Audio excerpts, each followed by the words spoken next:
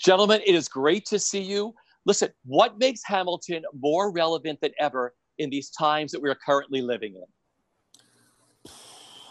Um, what's so surreal about the show is that um, we haven't changed a word of it since 2015. And yet, I think because it brushes up against the origins of this country and all of the flaws and contradictions therein, it resonates in different ways depending on where we are as a nation. And so, um, you know, immigrants, we get a we get the job done resonates in a different way during the Trump administration, which has been so anti uh, immigration. Um, it's like a rallying cry now. It was a laugh yeah. line.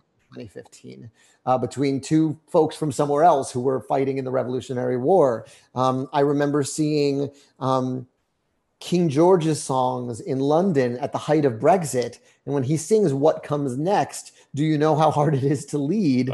You're on your own. Uh, that resonates in a different way. And in this moment where um, Black and Brown young people are taking to the streets, um, asserting that Black Lives Matter, um, and so much of our country is talking about what we stand for and what we won't stand for. Um, the language of revolution in the show resonates in a different way. Saying this is not a moment, it's a movement resonates in a different way. And so I'm I'm sort of awestruck at the fact that different things in the show pop out depending on where we are as a people.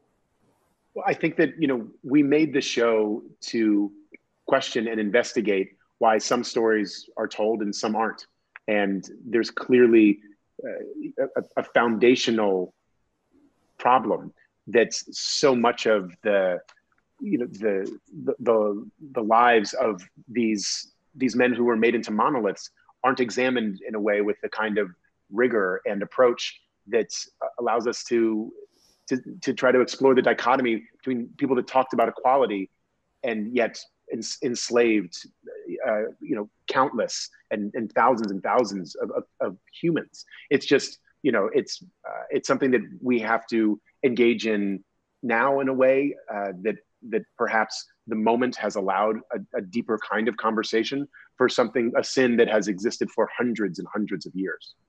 Yeah. You know tommy everybody at broadway world wants to congratulate you on being a brand new dad just with you. your wife michelle williams. This is a question for both of you. Um, both of you being fathers now how has that changed the way you look at life and the world with everything that we're going through now it's something that you know obviously is you know sort of this heightening of a kind of awareness of, of a sense of of duty um, of a sense of your role in the world and in other people's lives and and trying yeah. to accept the responsibility and be as accountable as possible um, to to whatever the moment needs uh, which is constantly changing but there's just a heightened sensitivity and, and awareness Lin for you yeah, it's funny. I watched the show. I was a new yeah. parent when the show opened. Yeah. Um, and I was not a parent when I wrote Dear Theodosia, which is the song where Leslie and I sit downstage and sing to our newborn children. Leslie has had a daughter since yeah. performing in that moment in 2016. He is singing to a daughter. I am singing to a son, and watching that res- that resonates for me in a different way. Uh, knowing Leslie and his family, uh, knowing who I was very clearly picturing the child I was singing to, and whoever was in the tenth row who got my eye line uh, when I would sing "Dear Theodosia."